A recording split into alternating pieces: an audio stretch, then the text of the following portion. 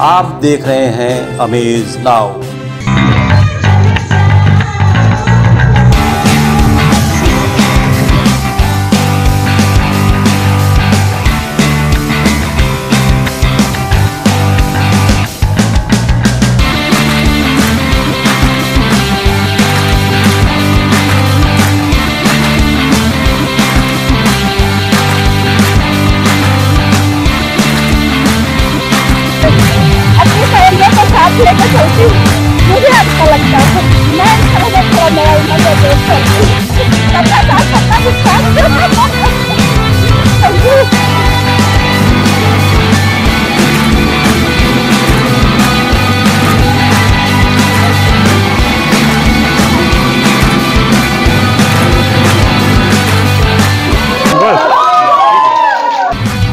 दोस्तों, नमस्कार।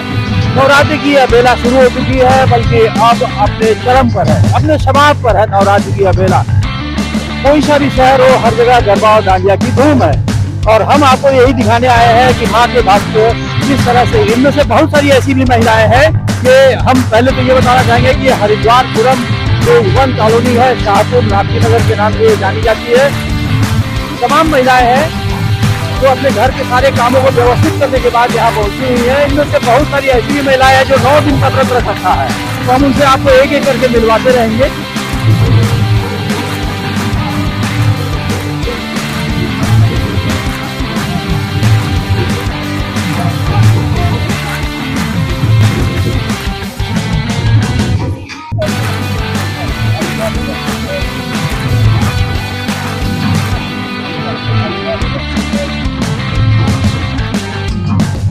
आइए सबसे पहले हम आपको ले चलते हैं इस कॉलोनी सोसाइटी की जो प्रेसिडेंट है।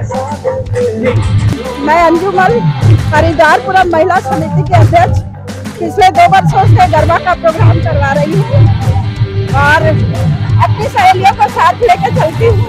मुझे अच्छा लगता है। मैं इन सबों को थोड़ा नया उम्र उमंग जोश करती हूँ। दो साल से ये तीसरा साल है। जी। बाधा नहीं आती है? आयोजन करने में आपको कोई दिक्कत नहीं, सबका साथ, सबका विश्वास।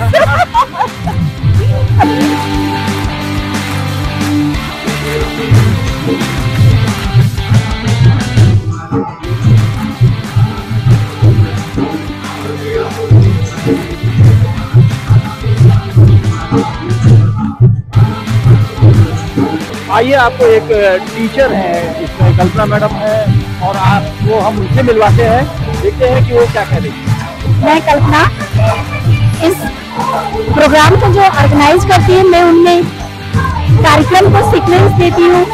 और यहाँ जो महिलाओं के प्रति, महिलाएँ अक्सर घर में रहती हैं और बाहर निकलने का मौका उनको ज़्यादा मिल नहीं पाता है। तो ये डांडिया का प्रोग्राम रख उनकी उत्साह के लिए किया जाता हाँ।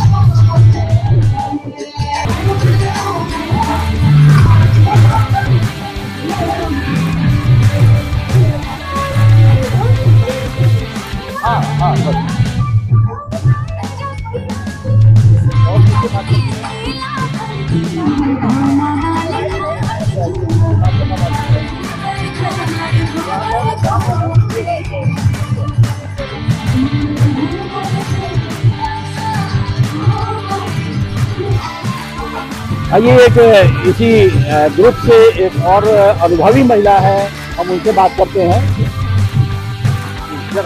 आज हम लोग शारदीय नवरात्र की त्योहार मना रहे हैं। हमारी सारी महिला मित्र मंडल, हरिद्वारपुरम की गृहणियाँ आज अपने उत्सुकता के साथ यहाँ जमा हुई हैं। अपनी खुशियाँ व्यक्त करने के लिए और माँ शक्ति दुर्गा की आराधना के लिए। तो इसके लिए मैं अपने ऑर्गेनाइजर को भी धन्यवाद देती हूँ। उन्होंने ऐसा सुंदर कार्यक्रम यहाँ ऑर्गेनाइज कराया और साथ ही साथ हमारी जितनी सदस्याएँ हैं, उन सबों को भी बहुत बहुत दिल से धन्यवाद। और हम पूरे जोश से ये त्यौहार मनाएँगे और अगले साल फिर हम इस त्यौहार को एंजॉय करेंगे। Thank you very much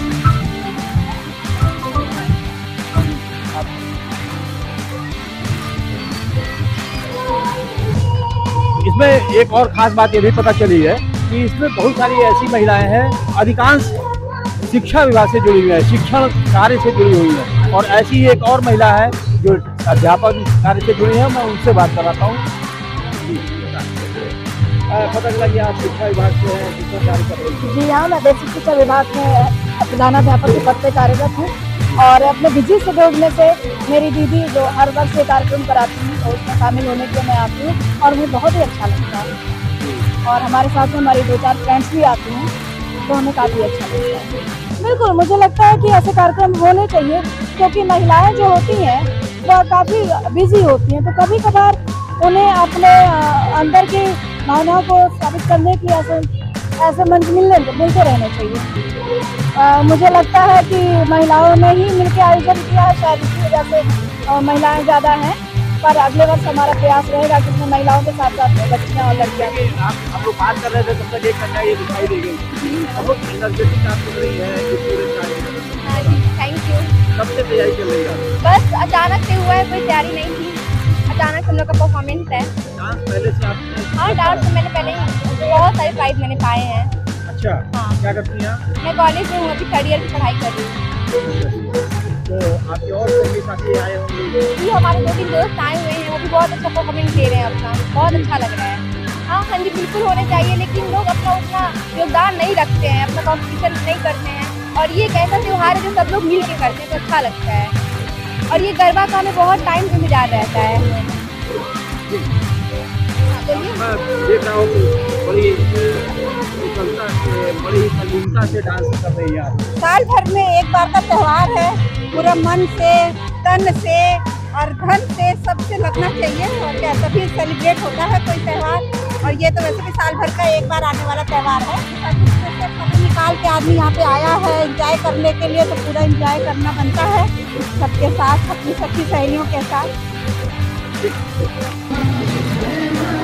Thank you.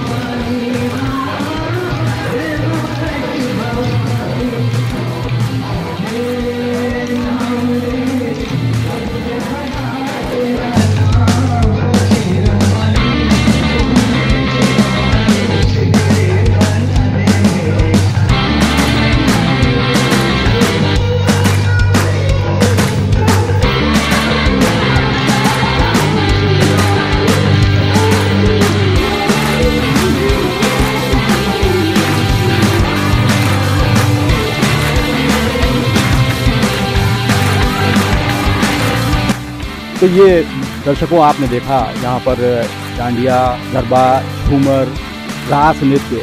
इस तरह इतना, इतनी तमाम तमाम जो महिलाएँ यहाँ पर इकट्ठा हैं, उन लोगों ने बताया कि इतने भाव नृत्य, लोक नृत्य हुए हैं यहाँ पर। लोगों में कितना जोश है, ये भी आपने नोटिस किया होगा, देखा होगा। किस कदर? इनमें से आपने देखा कि महिलाओं ने हाथ उठा के बताया कि उनमें से कितनी महिलाएँ, व्रत हैं कुछ नौ दिन की व्रत थी और बहुत कुछ ऐसी भी महिलाएँ हैं जो पहला और दूसरे आखिरी दिन व्रत रहती हैं। तो इस जोश के साथ ही हम इस कार्यक्रम को हम समाप्त करने की इजाज़त चाहेंगे। देखते रहिए अमेज नाउ।